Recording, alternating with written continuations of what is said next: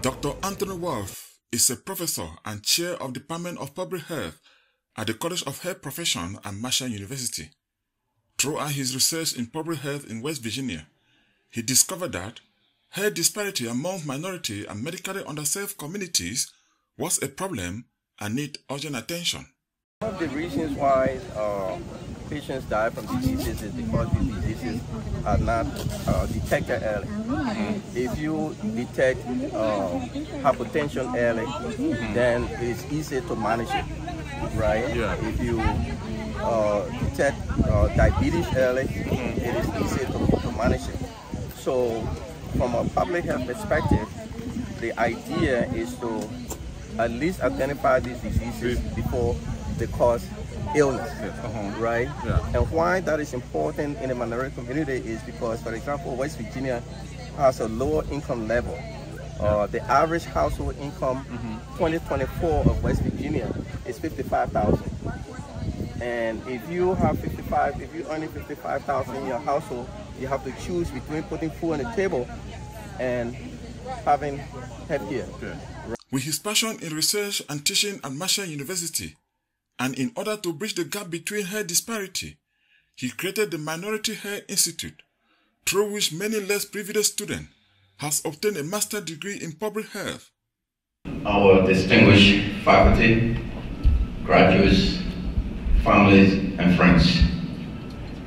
It is my distinguished pleasure to welcome you to this auspicious occasion on behalf of our Dean of the College of Health Professions, Dr. Michael Pruitt, and on my own behalf. This occasion is designed to honor you, the graduates, for your hard work His research work landed him a grant of $1 million from Unicare of West Virginia, through which her minority health fair was born in 2018. So six years ago, in 2018, I was invited to Marshall University to head the Department of Public Health and to be a professor. And um, I brought with me what I conceptualized as the Minority Health Institute. The overarching goal of the institute is to engage in research, health promotions, and disease prevention. And one of the means that I thought would to accomplish this is to organize a health fair in West Virginia, and particularly in Cabell County, where Marshall University and the Department of Public Health is based. According to Dr. Woart, part of the grant from UniCare gave minority students the opportunity in the form of scholarship to obtain a master's degree in public health for free. Um, but it was, it's totally worth it. Um, don't ever feel like you're not capable of doing grad school. Um, this is an awesome program. The professors really, really care about you. Small class sizes, so it's more, um, you know, intimate with the with your professors and your your cohorts.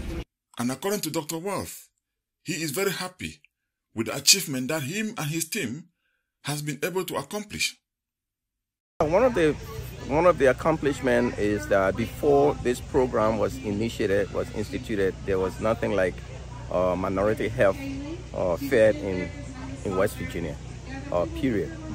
The most important thing that needs to be emphasized is the benefit that it brings to the community, because these organizations come and do uh, activities such as screening. Uh, I I myself, I have just screened uh, done a screening for diabetes.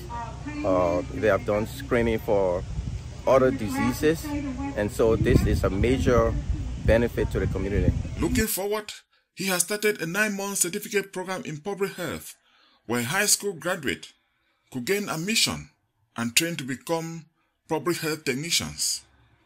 We created another degree program, certificate program that would that would train students from minority communities to come to Marshall and earn uh, a certificate in public health. What they do with that certificate is to become public health workers in the community. Okay. Right? So by how, how is it different from uh, the master's degree program? Well, the master's degree program is a graduate program. Yeah, okay. Right? Yeah, but yeah. this is a certificate program. Uh, the minimum requirement is high Right. school. High school, Yeah. and, and it is important to note that 50% of high school graduates in West Virginia do not go to college. Yeah. So Needless to emphasize on some of the free services offered each year during health fair, like the immunization, which is one of the way of bringing healthcare access closer to the underserved population. Ernest Kumba for Gaza Media.